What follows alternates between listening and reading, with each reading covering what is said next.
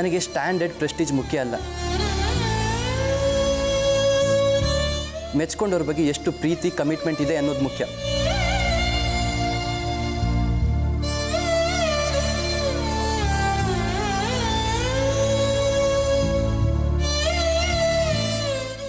ನನ್ನ ಭವಿಷ್ಯ ಚೆನ್ನಾಗಿರಬೇಕು ಅಂದರೆ ಒಪ್ಕೊಳ್ಳಿ.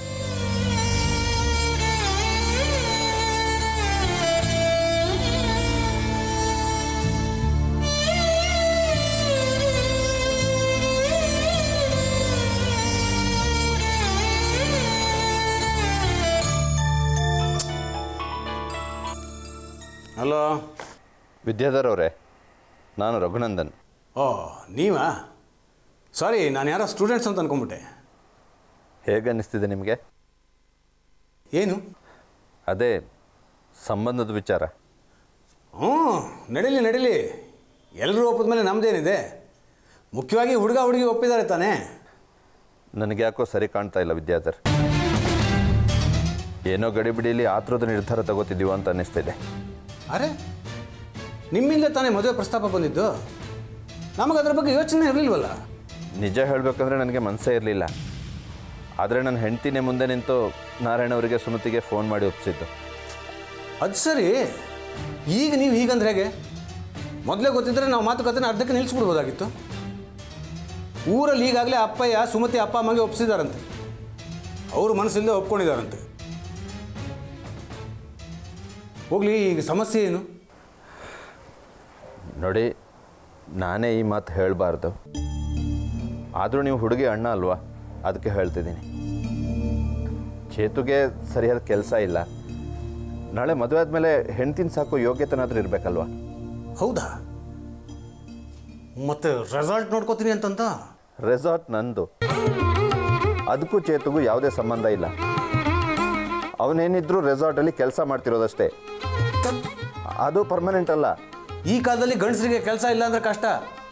ಅದು ಅಲ್ಲದೆ ಚೇತುಗೆ ಬೇರೆ ಆಸ್ತಿನೂ ಇಲ್ವಂತಲ್ಲ ಹ್ಞೂ ಅದಕ್ಕೆ ಹೇಳಿದ್ದು. ಸುಮತಿನೂ ಕೆಲಸಕ್ಕೆ ಹೋಗೋ ಹುಡುಗಿ ಅಲ್ಲ. ಇವನಿಗೂ ಕೆಲಸ ಇಲ್ಲ ಅಂದರೆ ಮುಂದಿನ ಭವಿಷ್ಯದ ಬಗ್ಗೆ ಯೋಚನೆ ಮಾಡಬೇಕಲ್ವೇ? ನನಗೆ ಅದು ಚಿಂತೆ. ಅದು ಅಲ್ಲದೆ ಅವನಿಗಷ್ಟು ಜವಾಬ್ದಾರಿನೂ ಇಲ್ಲ. ಹಾಗಿದ್ರೆ ತುಂಬ ಕಷ್ಟ. ನಾವೆಲ್ಲ ಲೆಕ್ಚರರ್ ಆಗಿ ಕೈ ತುಂಬ ಸಂಬಳ ಬಂದರೂ ತಿಂಗಳ ಕೊನೆಗೆ ಪರದಾಡ್ತೀವಿ. ಮದುವೆ ಆದಮೇಲೆ ಮನೆ ಮಾಡಬೇಕು. ಸಾಮಾನು ಹೊಂದಿಸಬೇಕು. ತಿಂಗಳು ತಿಂಗಳು ರೇಷನ್ ತರಬೇಕು. ಬರೀ ಲವ್ ಮಾಡಿದರೆ ಸಾಕು ಎಲ್ಲ ಮುಗೀತು ಅಂದ್ಕೊಂಡಿದ್ದಾನೆ ಅದಕ್ಕೆ ಇದ್ರ ಬಗ್ಗೆ ನೀವು ಸ್ವಲ್ಪ ಯೋಚನೆ ಮಾಡಿ. ನಾರಾಯಣ ಅವರಿಗೂ ತಿಳಿಸಿ. ಇದನ್ನೆಲ್ಲ ನಾನು ಅನಿವಾರ್ಯವಾಗಿ ನಿಮಗೆ ಹೇಳಬೇಕಾಗಿದೆ. ನಾನು ಕರ್ಮ ನೋಡಿ. ಸರಿ ರಘು ಅವರೇ. ನಾನು ನನ್ನ ಅಪ್ಪ ಹಿಂಗೆ ವಿಷಯ ತಿಳಿಸ್ತೀನಿ. ದಯವಿಟ್ಟು ಅವರಿಗೆ ತಿಳಿಸಿ. ಹಾಗೆ ಮುಂದಿನ ವಿಚಾರದ ಬಗ್ಗೆ ಸ್ವಲ್ಪ ಯೋಚನೆ ಮಾಡಿ ನಿರ್ಧಾರ ತಗೊಳಕ್ಕೆ ಹೇಳಿ. इड़तिन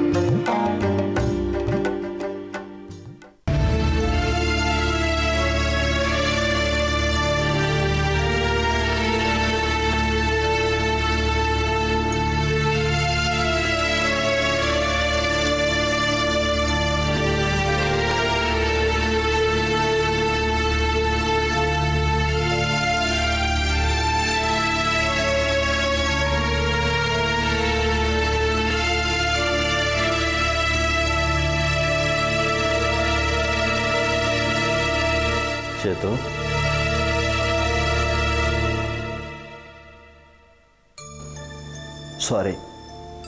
ನಿದ್ದೆ ಬಂದಿತ್ತಾ? ಇಲ್ಲ ಬಾ ದೇಹಕ್ಕೆ ಶ್ರಮ ಇಲ್ಲದಿದ್ರೆ ನಿದ್ರೆಯಲ್ಲಿ ಬರುತ್ತೆ ಹೇಳಿ. ಮಲಗೋದೊಂದೇ ಕೆಲಸ ಆಗಿದೆ. ಮಲಗಿ ಮಲಗಿ ಬೇಸರ ಆಗಿದೆ.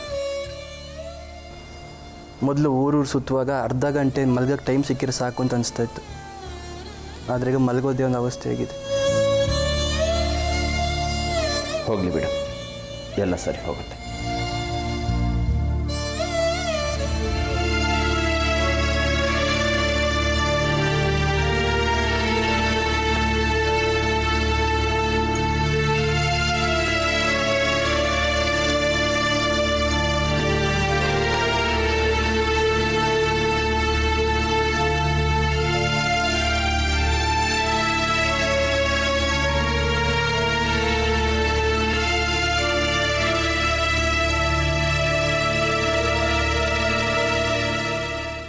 ಚೇತು ಸುಮತಿನ ನೀನು ಬಿಡೋಕ್ಕಾಗಲ್ವಾ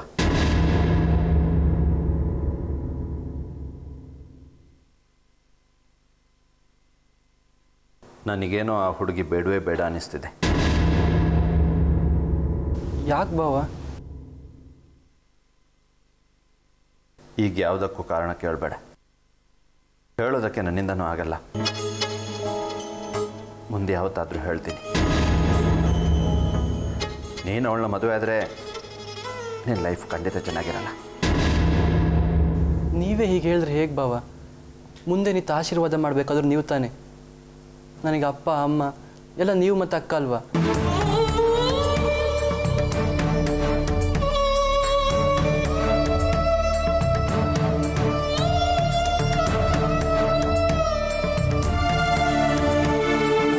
ಅದಕ್ಕೆ ಹೇಳ್ತಿದ್ದೀನಿ ಚೇತು. ನೀನು ಸುಮತಿನ ಮದುವೆ ಆದರೆ ನಿನ್ನ ಬದುಕು ಚೆನ್ನಾಗಿರಲ್ಲ ಅಂತ ನನಗೆ ಖಂಡಿತ ಗೊತ್ತು. ಬಾವ ನಾವು ಇಷ್ಟಪಟ್ಟಿದ್ದ ತಿಂಡಿ ತಿಂದಿಲ್ಲ ಅಂದ್ರೂ ದಿನ ಇಡೀ ಕಾಡುತ್ತೆ. ಅಂಥದ್ರಲ್ಲಿ ನಂದು ಸುಮತಿಗೋಸ್ಕರ ಮಿಡುಪಾಗಿಟ್ಟ ಮನಸ್ಸು ನಾವಿಬ್ಬರು ಒಂದಾಗಲಿಲ್ಲ ಅಂದರೆ ನನ್ನ ಬದುಕು ತುಂಬ ಕಷ್ಟ ಆಗ್ಬೋದು.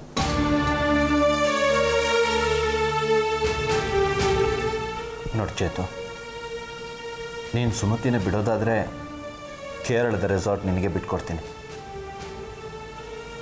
ಬೇಕಾದರೆ ಬೋಟ್ ಹೌಸ್ ಕೂಡ ನಿಂದೆ. ಒಂದು ಪ್ರೀತಿ ತ್ಯಾಗಕ್ಕೆ, ಒಂದು ಹುಡುಗಿನ ಬೇಡ ಅನ್ನೋಕ್ಕೆ ಇಷ್ಟೊಂದು ಆಮಿಷನ. ಹಾಗಾದರೆ ನೀವು ಬೇಡ ಅನ್ನೋ ಕಾರಣ ತುಂಬ ದೊಡ್ಡದೇ ಇರ್ಬೋದು ಏನು?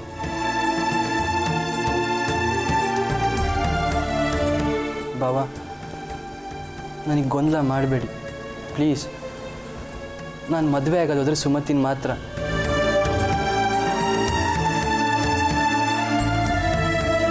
ನನಗೆ ನಿಮ್ಮ ರೆಸಾರ್ಟ್ ಬೇಡ ಬೋಟ್ ಹೌಸ್ ಬೇಡ. ಈಗಿನ ಥರ ಇಷ್ಟೇ ಕೆಲಸ ಕೊಟ್ಟರೆ ಸಾಕು. ನಿಮ್ಮ ಜೊತೆ ಕೆಲಸ ಮಾಡ್ಕೊಂಡಿರ್ತೀನಿ ಅಕಸ್ಮಾತ್ ಅದನ್ನು ಕೊಡದೇ ಇದ್ರೆ?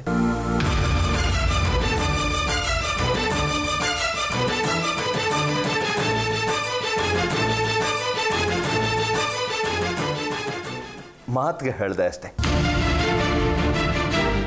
ಈ ಕೆಲಸನೂ ಹೋಯ್ತು ಅನ್ನು ಹಾಗೇನು ಮಾಡ್ತೀಯ? ಬಾವಾ ದುಡಿಯೋ ಮನಸ್ಸಿರೋಗೆ ಕೆಲ್ಸಕ್ಕೆ ಬರೋಣ. ಸುಮತಿಗೆ ಅರಮನೆ ಕಂಡ್ರೆ ಇಷ್ಟೇ ಇರ್ಬೋದು. ಆದರೆ ಅರಮನೆ ಬದುಕೇ ಬೇಕು ಅಂತ ಹಠ ಇಡೋಳಲ್ಲ. ಅವಳು ಚೆಲ್ ಚೆಲ್ ಇದಕ್ಕೆ ನಿಮ್ಗೆ ಹಾಗೆ ಅನಿಸಿರ್ಬೋದು ಅಷ್ಟೇ. ನಾವಿಬ್ಬರು ಬದುಕೋಷ್ಟು ದುಡಿಮೆ ಮಾಡೋಕ್ಕೆ ನನಗೆ ಗೊತ್ತಿದೆ ಬಾವ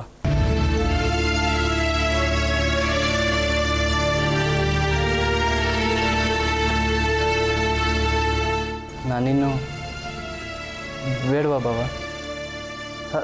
ಛೆ ನಾನು ತಮಾಷೆಗೆ ಹೇಳಿದೆ. ನಿದ್ದೆ ಮಾಡು. ಗುಡ್ ನೈಟ್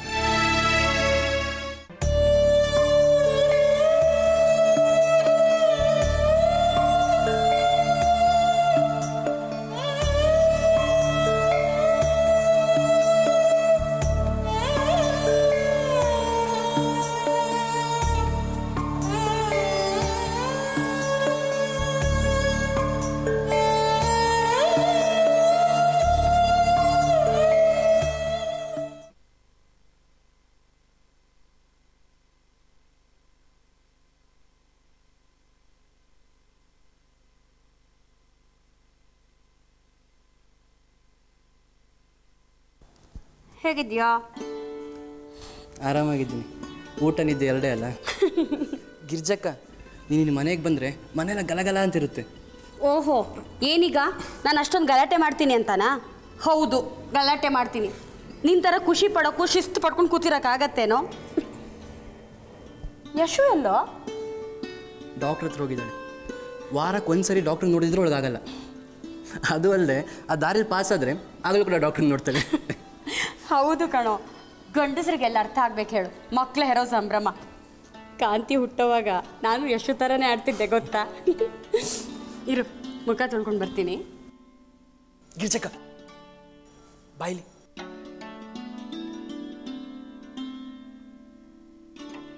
ಏನು? ಆ ರೂಮಿಗೆ ಹೋಗ್ಬೇಡ. ಯಾಕೆ? ಆ ರೂಮಲ್ಲಿ ದೇವಕಿ ಇದ್ದಾಳೆ. ಮತ್ತೆ ಬಂದ್ಲೇನೋ ಅವಳು ಬರೀ ಬಂದಿರೋದಲ್ಲ ಇಲ್ಲೇ ಪರ್ಮನೆಂಟ್ ಟಿಕಾಣಿ ಅಂತ ಕಾಣುತ್ತೆ. ಲಗೇಜ್ ಸಮೇತ ಬಂದಿದ್ದಾಳೆ.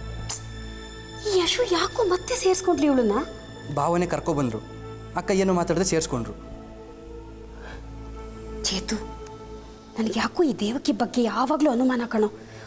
ಏನೋ ಒಂಥರ ನಿಗೂಢವಾದ ರೀತಿಯಲ್ಲಿ ಇರ್ತಾಳೆ. ಏನೋ ಕತೆ ಇದೆ. ಅಂಥದ್ದೇನಿಲ್ಲ ಅಕ್ಕ. ಅಕ್ಕನ ಫ್ರೆಂಡು ಅಕ್ಕ ಇವಳ ನೋಡ್ಕೋತೀನಿ ಅಂತ ಪ್ರಾಮಿಸ್ ಮಾಡಿದ್ದಂತೆ.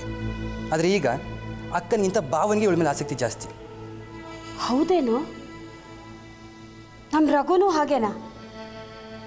ಥೂ ಈ ಗಂಡಸರಿಗೆಲ್ಲ ಮನೆ ಹೆಂಗಸರಿಗಿಂತ ಬೇರೆಯವ್ರ ದುಃಖನೇ ಕಾಣಿಸೋದು. ನಮ್ಮ ಯಶೋಗಾದ್ರೂ ಬುದ್ಧಿ ಬೇಡವೇನೋ? ಅವಳ ಮೇಲೆ ಅದೇನು ಮಂಕ್ ಬುದ್ಧಿ ಹಚ್ಚಿದಳು ಏನೋ. ಇವಳ ದಸೆಯಿಂದ ಅಕ್ಕ ಬಂಗ್ ದೊಡ್ಡ ಜಗಳನೇ ಆಯಿತು.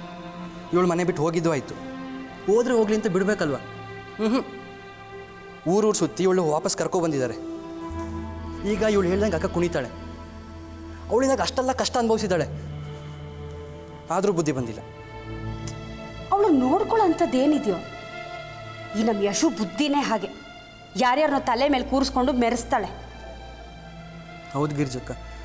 ಇವಳು ಮನೆಗೆ ಬಂದಮೇಲೆ ನನ್ನೇ ಬರಬೇಡ ಅಂದು ನಾನು ಮನೆಗೆ ಬರ್ತಿರಲಿಲ್ಲ ಗೊತ್ತಾ?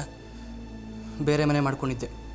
ಹ್ಞೂ ಅಕ್ಕನ ಮನೆ ಇದ್ದರೂ ಬೇರೆ ಮನೆ. ನನಗೂ ಬರಬೇಡ ಅಂತಿದ್ಲು. ಇದಕ್ಕೆ ಅನ್ಸತ್ತೆ. ಹಾಗಿದ್ರೆ ಏನೋ ಇದೆ ಕಣೋ ಇವ್ರ ಮಧ್ಯ. ಏನೂ ಇಲ್ಲ. ಇವಳು ಗಂಡ ಇವನ್ನ ಬಿಟ್ಟಿದ್ದಾನೆ ಅಕ್ಕ ನಾನೇ ಸಾಕ್ತೀನಿ ಅಂತ ಮಾತು ಕೊಟ್ಟಿದ್ದಾಳೆ. ಓಹೋ ಪುಣ್ಯ ಕೋಟಿ ನೋಡಿ ಅವಳು ಕೊಟ್ಟ ಮಾತಿಗೆ ತಪ್ಪಲಾರೆ ಅನ್ನಕ್ಕೆ. ಎಲ್ಲದಕ್ಕೂ ಒಂದು ಮಿತಿ ಇದೆ ಚೇತು. ಅವಳಿಗೆ ಬೇಕಾದರೆ ಬೇರೆ ಸಹಾಯ ಮಾಡಲಿ. ಬೇಡ ಅನ್ನಲ್ಲ. ಮನೇಲಿ ಕರ್ಕೊಂಬಂದು ಸಾಕೋದು ಅಂದರೆ ಅವಳಿಗೆ ಅವಳ ಗಂಡರಿಂದ ಅನ್ಯಾಯ ಆಗಿದೆ ಅಂದರೆ ಕಾನೂನಿದೆ. ಗಿರ್ಜಕ್ಕ, ಈಗ ನೀನು ಓದಿರೋ ಕಾನೂನನ್ನ ಈ ಮನೆ ಉಳ್ಸೋಕೆ ಉಪಯೋಗಿಸ್ಬೇಕು.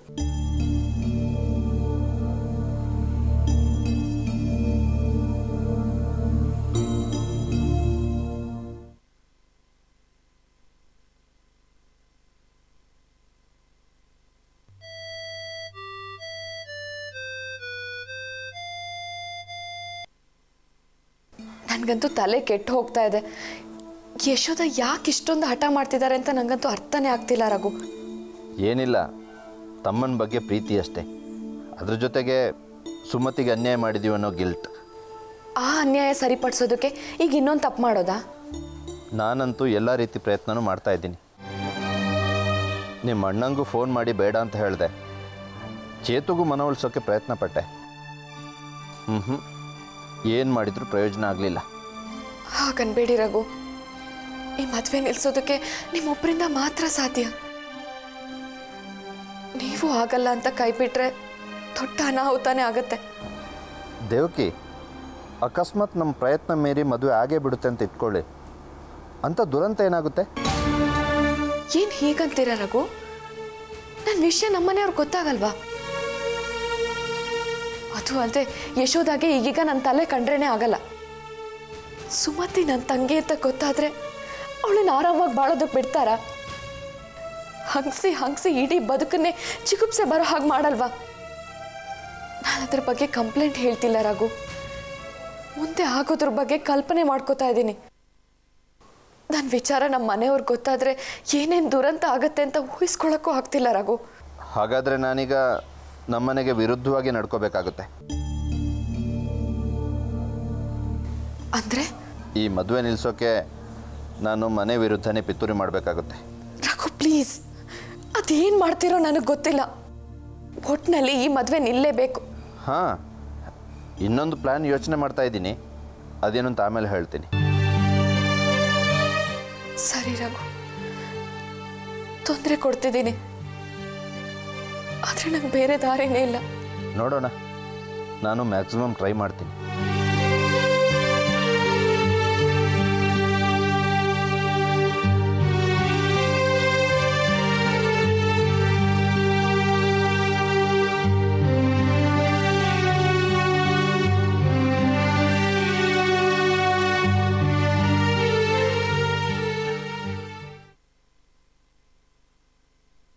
ಅಕ್ಕ ನೀನು ಯಾಕೆ ತರಕ್ಕೆ ಹೋದೆ ಯಶು? ನಾನೇ ಮಾಡ್ಕೋತಿದ್ದೆ. ನೀನೀಗ ನಮ್ಮ ಲಾಯರ್ ಅಲ್ವಾ? ಅಷ್ಟು ಮರ್ಯಾದೆ ಬೇಡವಾ? ಸಾಕು ಸುಮ್ಮನಿರು ಮನೆ ಒಳಗಡೆ ಲಾಯರ್ಗಿರಿ ವಿಚಾರ ಎಲ್ಲ ಬೇಡ. ಹ್ಞೂ ಯಶು, ಪರವಾಗಿಲ್ಲ ಕಣೆ. ನಿಮ್ಮ ಯಜಮಾನ್ರ ಬಿಸ್ನೆಸ್ ಜೋರಾಗೆ ನಡೀತಿದೆ.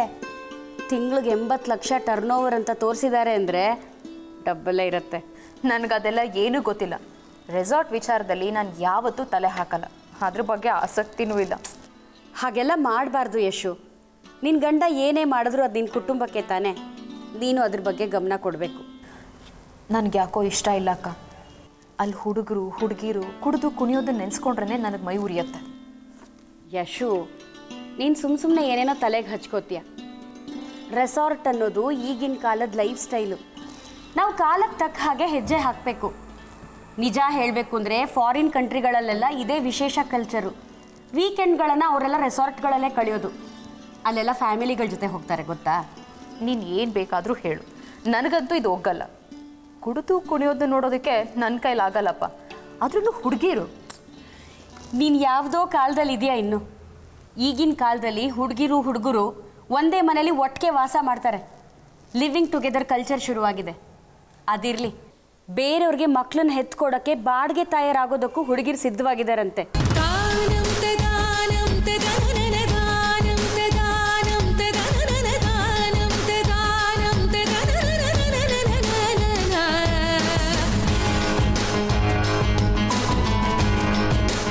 ಯಶು ಅದ್ಯಾಕೆ ಹಾಕಿ ಶಾಕ್ ಆಗ್ಬಿಟ್ಟೆ? ಪೇಪರಲ್ಲೆಲ್ಲ ಓದಿಲ್ವಾ ನೀನು? ಹ್ಞೂ ಓದಿದ್ದೀನಿ. ಅಕ್ಕ, ಇದೆಲ್ಲ ನೋಡ್ಕೊಳ್ತಾ ಇದ್ದಿದ್ದು ಸುಧಾಕರ್. ಏನೇ ಲೀಗಲ್ ಮ್ಯಾಟರ್ ಬಂದರೂ ಅವರೇ ಹ್ಯಾಂಡ್ಲ್ ಮಾಡ್ತಾ ಇದ್ದು ನಮ್ಮ ಫ್ಯಾಮಿಲಿ ಫ್ರೆಂಡ್ ಅವರಿಂದ ಈ ಫೈಲ್ಗಳನ್ನ ತಂದು ರಘು ನೀನು ಕೊಟ್ಟಿದ್ದಾರೆ. ನೀನೀಗ ಪ್ರೂವ್ ಮಾಡಿ ತೋರಿಸ್ಬೇಕು. ಸುಧಾಕರ್ಗಿರೋಷ್ಟೇ ಶಕ್ತಿ ನಿನಗೂ ಇದೆ ಅನ್ನೋದನ್ನು. ಅದೇ ನನ್ನ ಆಸೆ. ನೋಡ್ತಾ ಇರು ಯಶು. ಈ ಗಿರಿಜಾ ಯಾವುದೇ ಕೆಲಸಕ್ಕೆ ಕೈ ಹಾಕಿದ್ರೂ ಫೇಲ್ ಆಗೋದೇ ಇಲ್ಲ. ಇಲ್ಲಿ ನನಗೆ ಬೇರೆ ಯಾವ ಸಮಸ್ಯೆಗಳಿಲ್ಲ. ಹಾಗಾಗಿ ನನ್ನ ಶಕ್ತಿ ಏನು ಅನ್ನೋದನ್ನು ನಾನು ತೋರಿಸೇ ತೋರಿಸ್ತೀನಿ. ನಿನ್ನ ನಿರೀಕ್ಷೆ ಏನಿದೆಯೋ ಅದಕ್ಕೆ ಖಂಡಿತ ನಿರಾಸೆ ಮಾಡಲ್ಲ. ಥ್ಯಾಂಕ್ಸ್ ಅಕ್ಕ. ಥ್ಯಾಂಕ್ಸ್ ನಿನಗೆ ಹೇಳಬೇಕು. ಈ ಅವಕಾಶ ನನಗೆ ಮಾಡಿಕೊಟ್ಟಿದ್ದಕ್ಕೆ. ಯಶು? ಈ ದೇವ್ಕಿ ಗಂಡ ಯಾರು? ಅದೆಲ್ಲ ಈಗ ಯಾಕೆ?